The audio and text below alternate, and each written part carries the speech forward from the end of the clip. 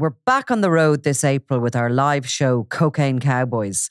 If you want to hear the story of Ireland's love affair with Colombian powder and those who made millions in the gold rush, join us in Galway's Town Hall Theatre on Saturday, 6th of April, Killarney's INEC on Saturday, the 13th of April, and in Belfast's Waterfront Studios on Saturday, the 27th of April.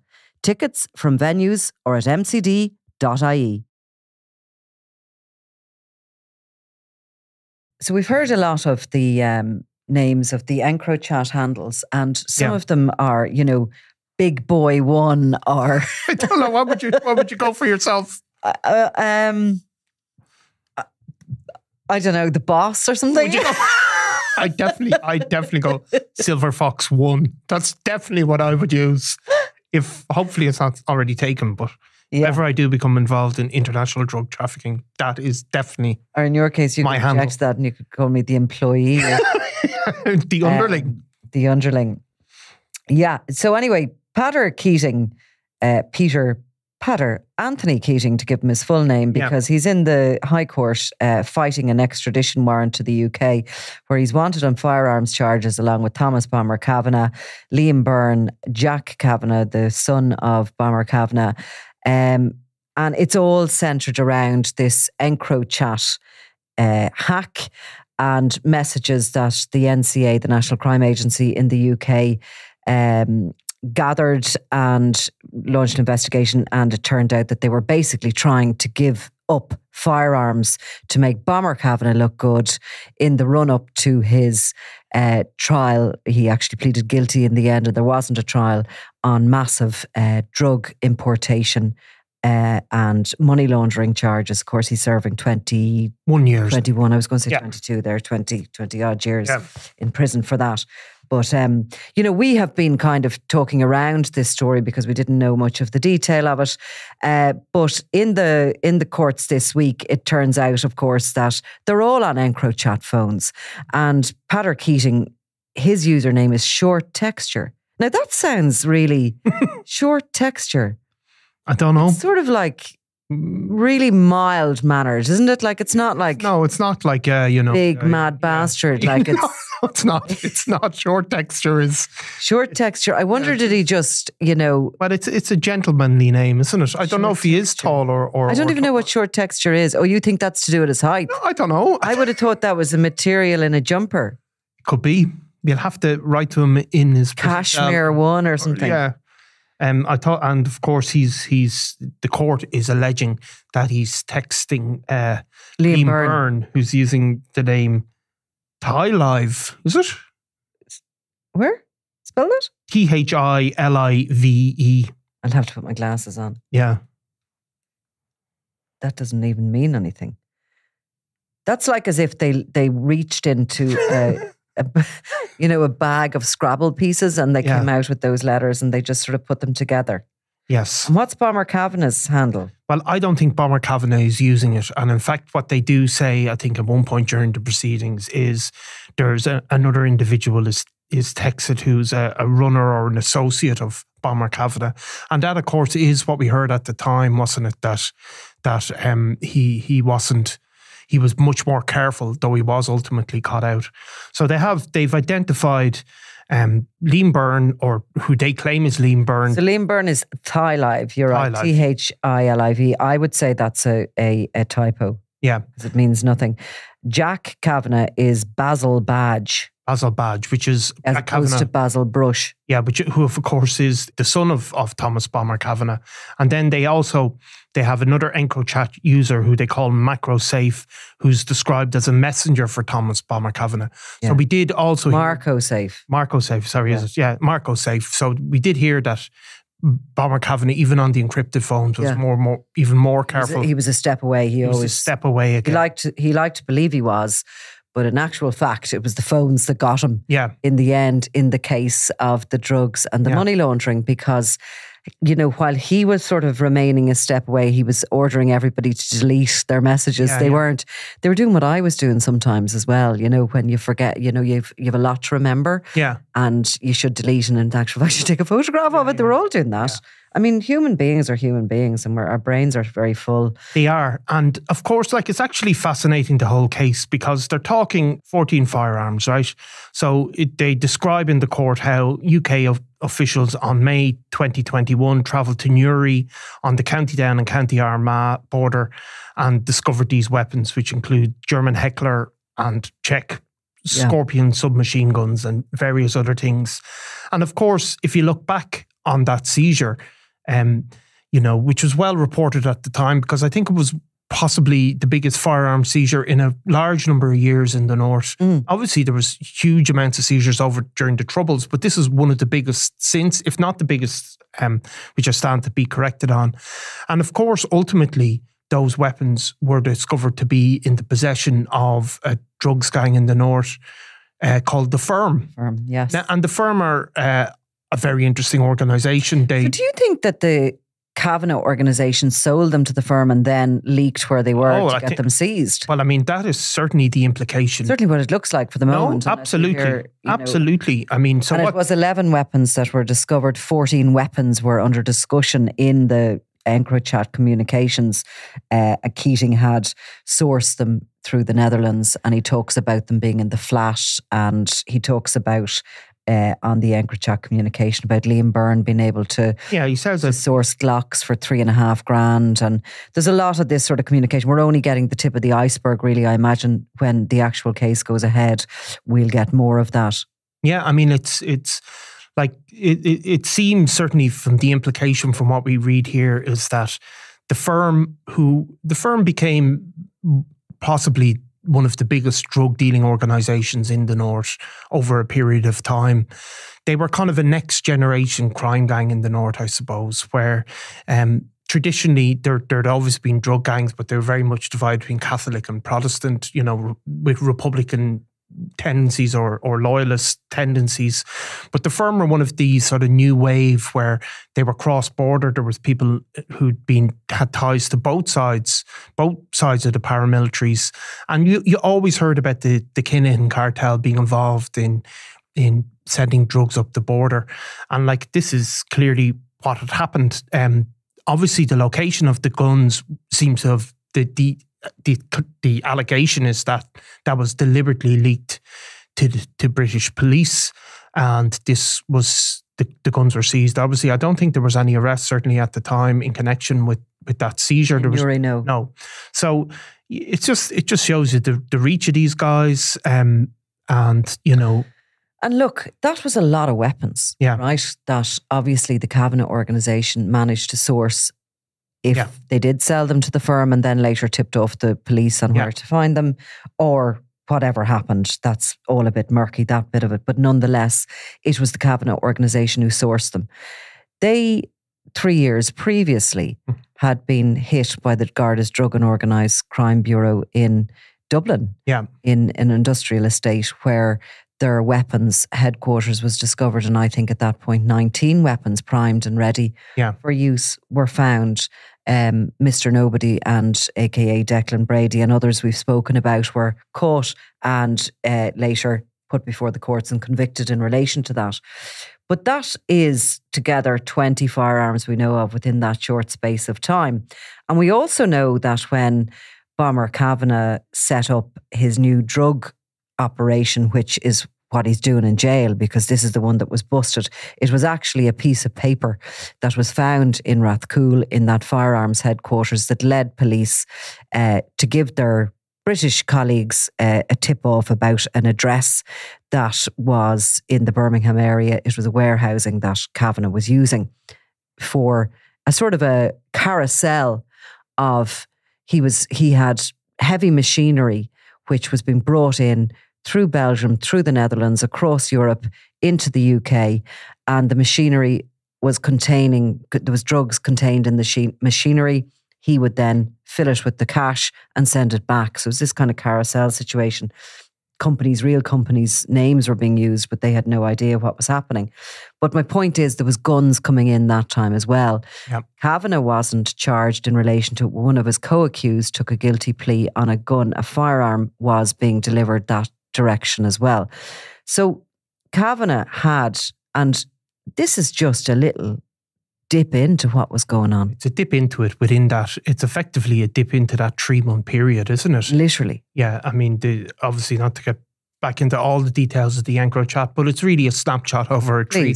Well, it's a I have a few comments on this in the EncroChat, but we'll get back no to doubt. that. But it's basically a snapshot of a three month period where the, the authorities hacked into these encrypted phones, recorded all the messages, you know. So what happened in those three months has become public record, I suppose, now that it's with the police.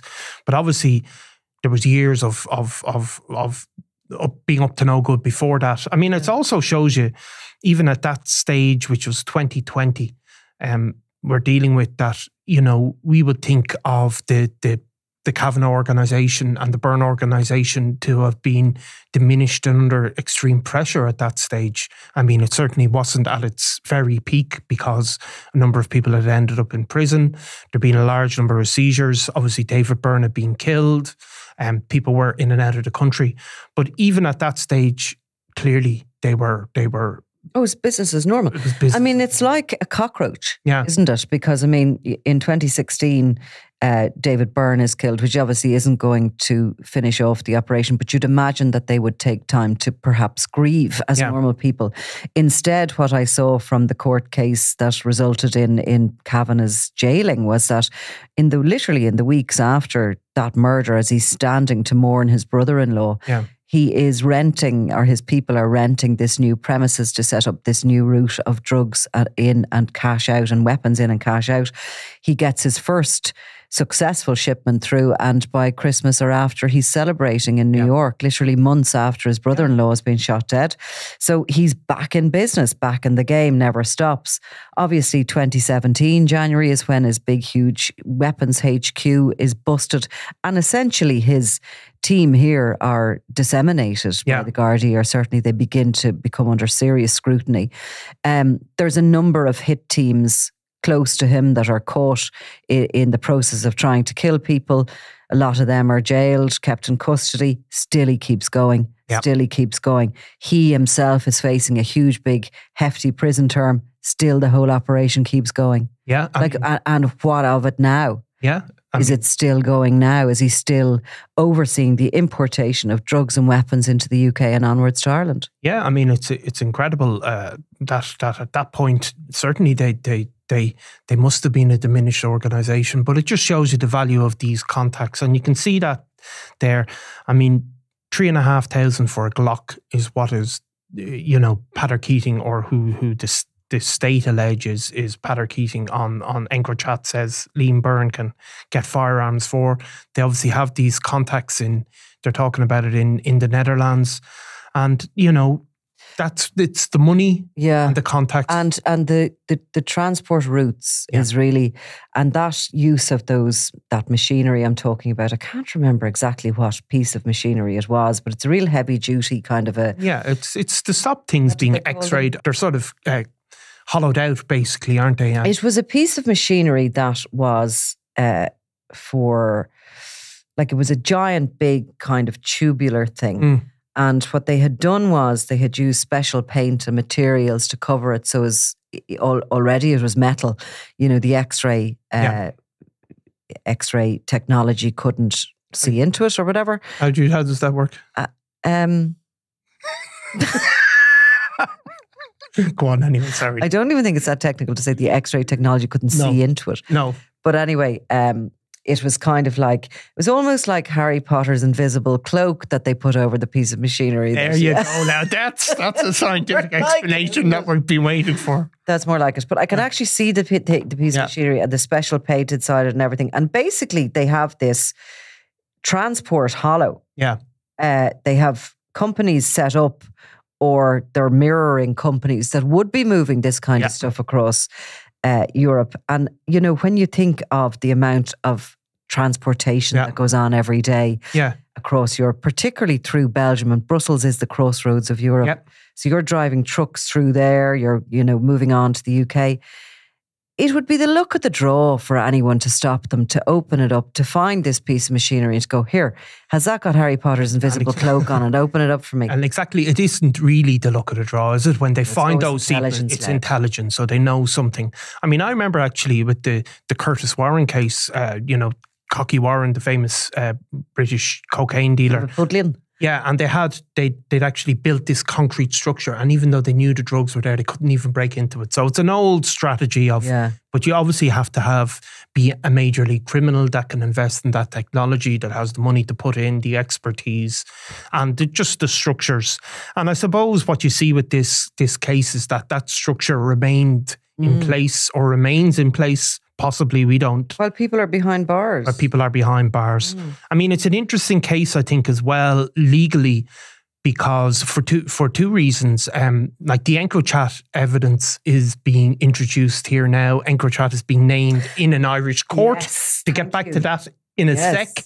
Even though Uh, it's in extradition proceedings as opposed to looking for a conviction or placing a case before the courts, but it's still Being used. being used. Yeah. It's being used in an Irish court. Um, I can't think. I mean, I know it's been mentioned probably, but like this is this is the evidence presented by the UK officials. It's the first time. yeah, There are cases that I can identify where EncroChat was used and where EncroChat messages led Gardaí to something, and they have not mentioned that a single time in court. So this is being said in in public in court, and it's also going to test um, because obviously Patrick Keating is resisting extradition.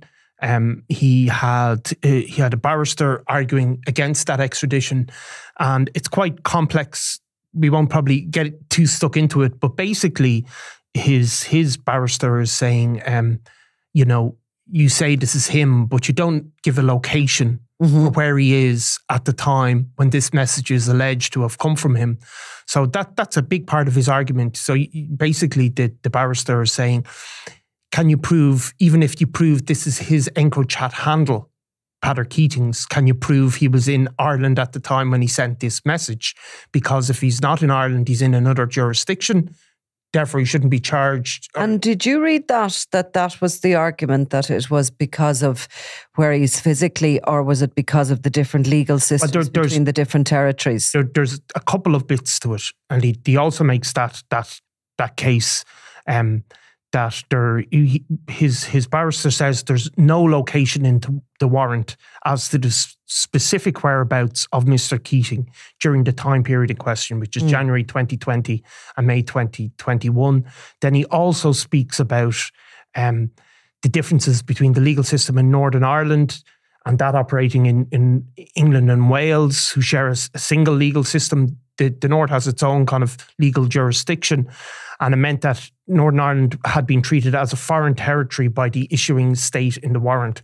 So that's another kind of complex issue Mm. about where he was, which which jurisdiction is relevant, and then also, um, you know, the the the the different jurisdictions basically. So it is going to be tested to a degree. Um, Yeah, it's all about his residency and and that. Yeah. Are they actually trying to look for the location of the phone? I think they're looking for his location to prove. Well, they have to prove- either territory and therefore which law. Yeah, well, what he says was exactly, and he says that intercepted text messages did not prove the location of his client. Mhm. So even if you say this is him, it doesn't. You have to say he was in this location. He's arguing he have to say he was in this location when this message was sent God, in I'm order to. judge here in this. Yeah, case. yeah, I'm yeah. Like what are you talking about? But I also think that uh, I thought that the the barrister who's only doing his job and is Mm. obviously defending his client as best he can, but he does point out that there's an overcrowding in UK prisons and therefore it would be against his human rights to move him to a UK prison. Yeah, I think That's that slightly grasping, is it? Well, they. I think they always throw that in. I mean, that's and part of that is, of course, that um, it becomes, is, uh, you know, we were the, the UK was part of obviously the EU.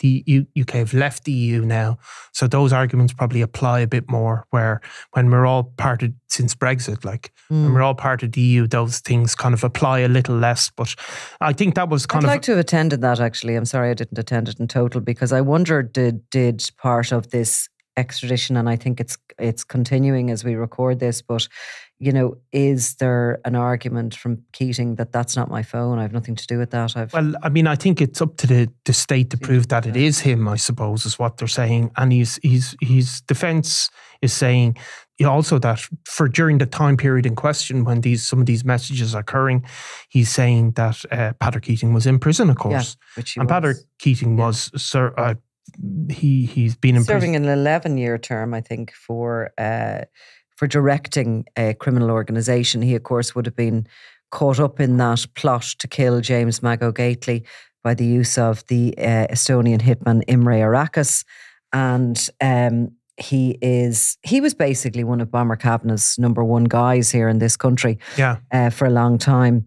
I mean, Keating is quite an affable character when you see him kind Yeah. of, you know, polite. You certainly wouldn't Yeah. identify him exactly. He doesn't look no, like a criminal, she No. says in a ridiculous fashion. no, and he also has even even even his uh, EncroChat handle isn't very criminal. No, it's not it? criminal. Yeah, exactly. But he, he was one of these sort of people who was working here constantly for for Kavanagh, obviously fiercely loyal.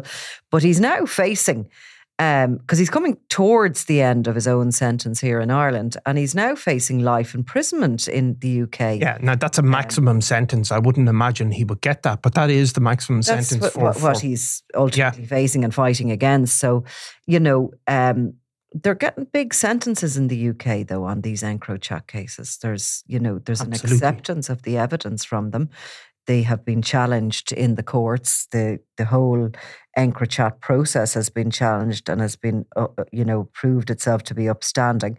Which brings us back to the fact that okay, these are all allegations, and we have yet to put these before a UK court to see what the judge or jury has to say. But if we're to believe these allegations in this case so far, that Peadar Keating was operating on an EncroChat phone. He had that EncroChat phone while he was uh, a free man and possibly while he was in prison, um, depending on the dates and, you know, the timeline of this. But he is a very significant player in the Irish criminal underworld and he has clearly been using an EncroChat phone, as has Liam Byrne, who, while he hasn't been in this country for a while, is a significant player in Irish organised crime, as is Thomas Bomber Kavanagh, as is his son Jack Kavanagh, and all of them are on EncroChat phones. all of them are on EncroChat. Um, simultaneously, uh, a, a well-known criminal who we cannot name because of a court restriction uh, pled guilty to a series of very serious charges in the north last week. That man is a, is is a long-term resident of the Republic of Ireland. That's really, although he has different addresses, he's from the Republic. So these are kind He of He was on an EncroChat phone. he was on an EncroChat phone, and that's one of the first big uh, EncroChat convictions in the North. So there's also others in the North facing charges who are really from Dublin criminals, um, who have also obviously have these ties up the North. So the idea, I suppose, uh, and and nobody believes this, but the idea would be that that Peadar Keating and Liam Byrne were only using EncroChat to contact their Dutch and, and UK associates, but when they got up to their criminal activities in Ireland, they went and used a different phone, I suppose, farcical as that may seem. And the reason you're saying that, of course, is because one of the excuses given by uh, in private briefings from uh, senior members of An Síochána who made management decisions not to act on the EncroChat information in the same way as other jurisdictions did. So the EncroChat phone hack obviously happened from April 2020 for Yeah. three or four months until the whole EncroChat phone network realised what was happening and sent out an SOS to all its users. It was one of the biggest uh, communication systems used by organised criminals across Europe, in Belgium, in the Netherlands, in the UK, and in Ireland. Um, and Ireland was one of the countries that. Uh, after the hack by the French, who found the server, brought in the Dutch, who were uh, experts in in sort of getting in on these phones and these supposedly bulletproof phone systems, when they were up live on the hack, basically listening in to what was going on in the organised crime network across Europe. Ireland got that information in live time. We were the only country who didn't um, pass that information on down from the Crime and Intelligence Division. It was held within that. And I do know certainly of one occasion, of two occasions, that um, there was some surveillance work um, done as a result of live information Mm. coming in. Um, that has not been said officially in court, but basically in other countries in the UK, the the information came in every day. A central uh, unit disseminated and passed it out to Liverpool, to Birmingham, to Manchester, to Newcastle, to wherever it was relevant. Their, uh, you know, senior detective units looked at it and passed it on further down to the localized Yeah, and they- areas. and they acted on as is a, a threat to life. So if they get this intelligence that there was a say a murder was planned, they'd go in and swoop on this and they'd arrest guys and then they wouldn't obviously if they were charged or whatever they wouldn't say where they got the intelligence from it would just be put on intelligence and they allowed that to go on for three months until it all came to light and It's that extraordinary ended that it went on. They didn't only act on threat to life, though. They did move in on drug shipments Yeah. that they realised were coming. I mean, we've touched on this when we've been speaking about Morris O'Shea Salazar, the Kerry man who's wanted in Chile, believed to be on the run in Mexico in relation to uh, the running of drugs from the Sinaloa cartel into Europe. And we've seen the EncroChat files Yeah. in relation to his network, and we've seen a number of shipments that uh, are understood to have come through Dublin Yeah. port. Yeah. Uh, one of them we were able to identify may have been Yeah, I mean, look, there were seizures, in, but, but yeah, without getting into the specifics of it, there were seizures that were in or around that time of of major cocaine seizures, for example. So whether you know that all adds up to to to being, I mean, we don't know because actually, in connection with one of those very significant seizures, I don't think anybody was. There was an arrest, but it was really of a, a truck driver, and I don't think it ever came to court as of this point. So we don't know if that, like, there, there's there's a reason to believe that the, the, the guards or revenue acted on information given to them through the, the EncroChat hack, but it hasn't come to it hasn't come to court. No, and in this case, I suppose, from a basic point of view, while um, the UK state say that Patrick Keating was the one who was organising and organising the logistics and transport of these weapons, which were found in Newry, you don't see the Irish courts taking the case and looking to extradite Bomber Kavanagh and Jack Kavanagh No. and Liam Byrne. It's the other way around. The UK are taking the case and they're looking to extradite Patrick Keating. Exactly, and I suppose the the, the real uh, the wonder of the EncroChat hack was that instead of picking up the guys collecting the drugs, transporting the drugs, or storing the drugs, it allowed police to prosecute up another level. So I, you know, they were able to get the guys who were arranging these these deals, but never were going to put their hands on anything. Mm. So for years, obviously,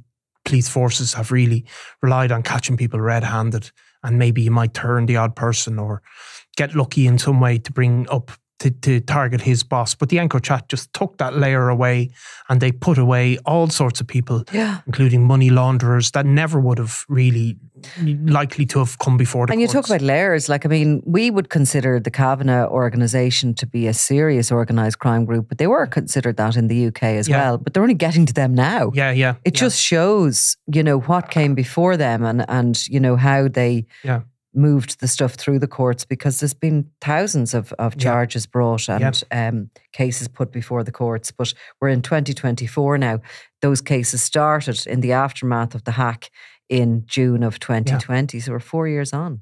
Yeah, I mean, look, and it's it's interesting to see the word EncroChat in a, in an Irish court. Is so I've been, uh, and I'm going to have an EncroChat party. well, we're going to see now how the, the Irish courts interpret that evidence. Obviously, uh, an extradition proceeding is not a criminal conviction, so it's it's going to be a different uh, standard of proof. They're going to they they probably decide that if somebody has a, a legitimate case to answer, as opposed to somebody is found guilty or not guilty, they're not found guilty or not guilty in an extradition proceeding. It's obviously that's up to the UK courts for when they're brought in. Um, it's it's you know there's different matters there. I'm going to try and explain some of Patrick Keating's def- defence, right? Because it's, it is complex. Go on. Do, So do you think you need to yeah, I think I, explain it just to me or no, to no, to to well? yeah, because I don't. I just I'm just going to explain, and it kind of highlights maybe the complex reality of the EncroChat things. Like So- been in the um, remedial maths class. Well, no, well, I mean, I'm probably going to get this wrong, so Go on, go for it anyway. So, uh, Patrick Keating's barrister says that if it was the case that Keating, so there, there's a conspiracy, and it's an international conspiracy, right, to buy these guns and move them. So they're bought in the Netherlands, it's arranged in the UK, they're landed in Northern Ireland, and possibly through the through the Republic of Ireland. So it's an international conspiracy. Mm-hmm. I mean that that is the business of the the Kinahan cartel and and this the organ, Byrne organized crime group. They're operating across the borders. So, but Patrick Keating's defence is that if it was the case that Keating was in either the Netherlands, Northern Ireland, or the Republic of Ireland during this alleged offence, that then his client should not be surrendered to England because it's the English officials that are seeking his extradition, and that any agreement into any alleged cons- conspiracy entered into by his client or the discovery of weapons in County Armagh were therefore both outside the jurisdiction of the warrant. So basically, they're saying unless you can show where he was when this happened, and unless that was in England, he was in England for this, then you're you're you're operating across these sort of borders and it's outside the jurisdiction of the warrant. So that that's kind of yeah, complicated. It's, it's, a really heavy legal argument. It's a heavy legal argument, and you're going to see that then. This is probably you know the Irish officials didn't fancy all these arguments. Maybe the the guards did they? I don't know. We don't know what they what. I they, just know that a decision was made that they were not going to use this EncroChat stuff in court because they thought it was going to fail. Yes, and this So is this is this is the complex legal arguments. He's you know. But there was a decision made by there people was a who saw a problem before they tried to tackle it. exactly. We all work with people like that who see problems that aren't even in the ether Yes. before anything is tried. yes, And that was the decision, and that decision was rubber stamped by Drew Harris. yes, and of he was course, the Garda commissioner at the time. and of course, the other countries in Europe um, also foresaw these problems. Um, you know, in Holland and in France, there's been significant challenges against the EncroChat convictions, and in the UK, they have all gone through the courts, and ultimately, the EncroChat hack evidence has stood up legally. Mhm. Now they went through very elaborate uh, uh, appeals procedures, but you know there is a certain leeway, and um, yeah, it look it looks as I said, we can't FOI it and see why they No, decided not to do what they did. There But was a couple of private briefings given, and that was the reasons given that uh, it was all going to fall apart in court. That was some uh, advice given by, you know, a catastrophist, obviously. yes, And the second thing was no Irish criminals. You were using EncroChat phones anyway. yeah, and it's a very Irish thing, isn't So- it? You always, you always see uh, the, Find that story if you want me to which one the, the about the phones. Yeah, but they always see the um uh, the we always hear this about the, the government saying, "Well, we got legal advice and we couldn't do it." I mean that that's that's a very Irish uh, phenomenon, you know. Mm. Well, look, if we get legal advice, we do Mm, what we're true, told true, as well. true. In fairness, so you know what I mean. You're really out there if you are going up against legal advice and you're operating. Yeah, Oh, I won't find this now, but I will find it and read Yeah. it out to you at some point. Um, you see, Byrne also argued from during his extradition from Spain, which he thought that he was going to have inhumane treatment in the UK jail. What's wrong with the UK jails? They can't be that bad, are they? well, I mean, they're they're they're. I mean, all jails are bad, I suppose you might say. Um, but I, I do think that's a, a part of that is the fact that that it's it's a different regulatory system because it's because of Brexit. So look, Reuters, always Britain to spare minor offenders jail in effort to ease prison overcrowding. Mm. Overcrowded UK prisons are already failing society. More foreign prisoners to be deported to free up cells and tackle overcrowding. Okay, they have a point. Yeah. Britain's brutal and overcrowded prisons pro- pose a risk to us all, said The Guardian last August. Um, obviously, the conditions are worse there than they are possibly here. Yeah, I mean, of course, there was an attempt to extradite a guy from South Africa to Ireland, and he was making the same uh, argument about Irish prisons were inhumane and overcrowded and violent, and Three square meals, so hot water, yeah, and a bed. and know. a, a PS5 or whatever else you can afford in your Exactly. room. So Yeah.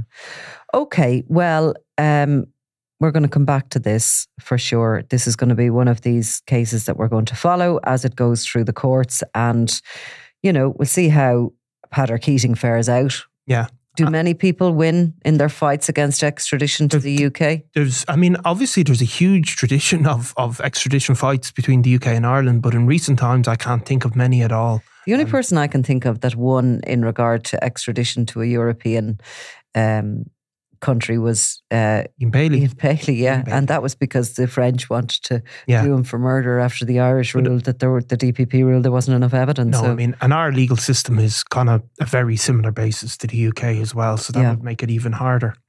but he's having a go. So having a you know, let's see where he goes with that. Yeah. Okay. Thanks for all that help and explanations about. Yeah, I enjoyed the. Harry Potter, Potter reference to the scientific explanation of X-rays. I have to say. Well, do you know if you had something that you could have, you know, to have that was outer worldy, what would it be? For me, it would be one of those capes. No? Okay. No, no, it's good. It's good. If you could have some sort of a superpowery, super, hu- you know, hero thing, what would it be? Would you like one of those spider thingies on your hands that you could climb up walls? well, well, look, if if that's on offer, I'll go for that. All right, but But yeah, surely you'd think about this. I'd like, um, yeah, I'd like um, super speed. I'd like an invisible cape Would you? or something that would make me fly from my feet, as in No, do you know what I'd really like? I'd like my shoes I'd like a Star Trek transporter where you just press the button and go where you have to go. No to the traffic. past, like No, no. oh, to the just wherever you want to go. Even I'm sitting down here, I don't want to walk upstairs. Press yeah. the button, reappear upstairs. Would you like that? Would you prefer that to yeah. an invisible cloak? Yeah, well, like, yeah, I would. Yeah, why would you? Why would you want an invisible cloak for? Um, Spy on your yeah. your enemies. spy, of course, and just generally sort of, you know, not be, you know, you could go anywhere. It'd be fantastic.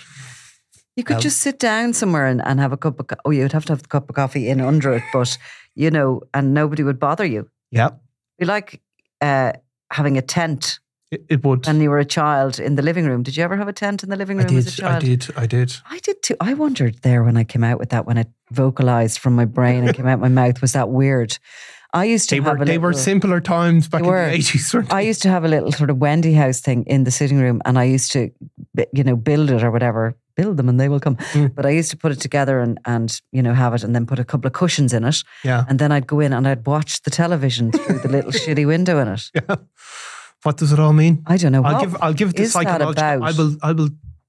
I will do one of my professor professor yes, Professor psychological Donald. analysis on this. Doctor Donald. Go Yeah. on. Oh, later you need A later point. Yeah, I'd need to research. Well, I think it's similar to sort of you know building dens under hedges Yeah, and everything. yeah. You're always trying to create A, s- a sense of security and a home. yeah, a sense something. of security and and yeah, Yeah. yeah. How do we Wow, Get onto that. wow. from Patrick Keating to Wendy houses. that is actually just sort of, you know, sums up crime world. Yes, Sorry about that, people. thank you. I'm Nicola Tallant, and you're watching Crime World, a podcast about criminals, drugs, and the underworld in Ireland and across the globe. Make sure you subscribe to our channel and turn on notifications so you can be the first to watch all our latest episodes. You can also listen wherever you get your podcasts.